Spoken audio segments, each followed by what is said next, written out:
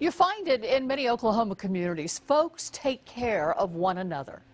We didn't have to travel far up Highway 74 to find just such a place. Join me and First Fidelity's Lenny Vile as we pay it forward.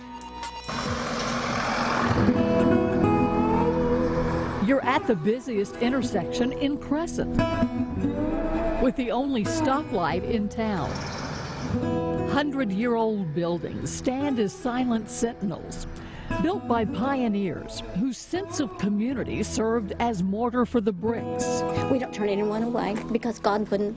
Ina Richards inherited that sense of community. At this table, we uh, we sort things. She heads the community closet, hundreds of articles of clothing waiting for those in need. Sometimes people come in and they really don't have anything, But they leave with their arms and hearts filled. And so whatever we've got, we give out. I mean, anything that you could need, she finds a way. Yes, absolutely. You could ask anybody in town, they, they have stories. Um, on behalf of First Fidelity, I want to um, honor her with uh, $400. So right, 100, 200, 300, and 400. She'll be thrilled. We find Ina unloading donations in the rain. I know we kind of caught you at a bad time, didn't we? It's okay. I'm Linda Cavanaugh from Channel 4. How are you? I nominated you because you have a heart of gold and you were there for anybody and everybody that needs help.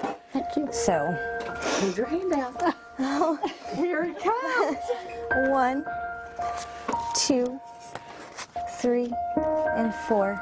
Thank you. Thank you. No, thank you. Love you.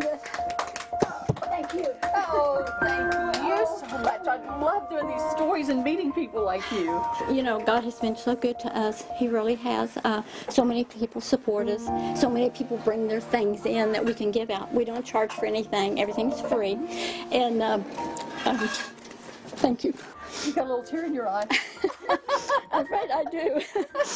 but it's joy. Ina and other volunteers open once a week to serve anyone who needs help. Her husband of 57 years by her side. We've touched a lot of lives, and we're going to continue to touch a lot of people. Housed in Crescent's old lumber yard. It's just what we think God wants us to be doing.